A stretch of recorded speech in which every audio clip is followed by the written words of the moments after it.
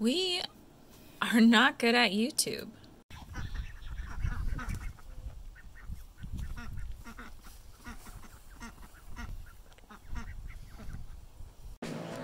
So we went to North Carolina in Fayetteville and they have this pie company where they only make certain pies like lunch pies and dessert pies. Um, and so we took the kids there because everybody said it's the best place, we gotta go. And most of the kids would not eat it. it was really good. They enjoyed the dessert pies, but not so much the lunch pies. What did you think, Lorelai?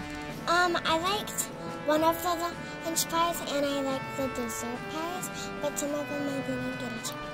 Yeah, and then we went to the Airborne Museum before we left Fayetteville. Um, and uh, something really cool about this museum is that everything in there is authentic. It's actually from the time period that they used.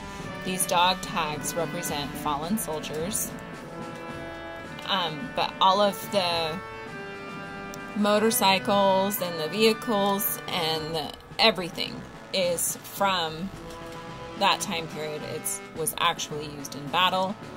All of the clothing, all of those things. Um, and there was like helicopters and um other things, and some of them they built.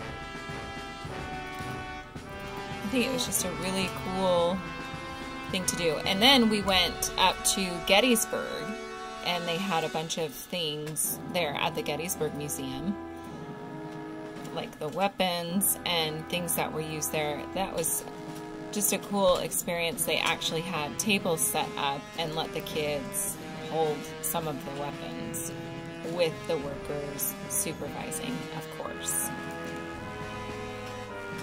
Obviously.